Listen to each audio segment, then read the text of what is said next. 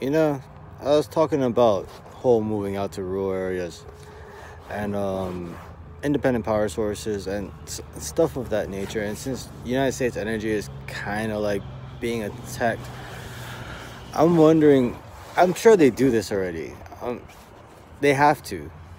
Oh, what would it cost to for generator and fuel delivery and maintenance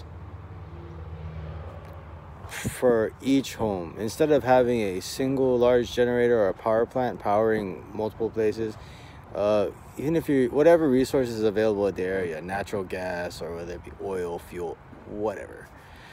But what would it cost? And would it be a good business model? I mean would you rather pay say these people say you start a business you open you build uh, sound dampening enclosures with generators and you install the so we'll say we'll do propane.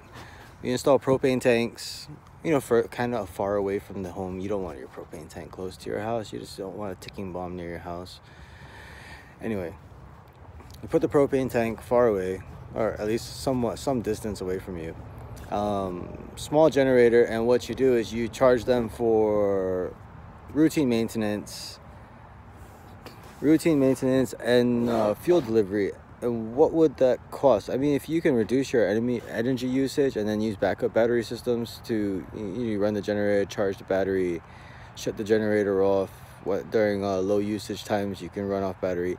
Um, it's a stable way of creating energy and it decentralizes everything. What would it cost for a private company to do that?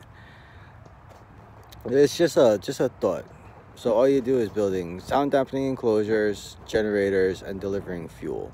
Or you can separate the businesses by the three well and what it is is it's what's good about it is it's constant work because once you install the generators you have the maintenance contract and and the fuel contract.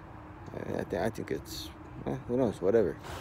Startup idea I'm sure it's already been done. I'm sure people are already doing this but I wonder since they're raising debt ceiling and if you want to invest into these rural communities I wonder if that would be the way to do it because uh un, un unincorporated land is not land without utilities is a lot cheaper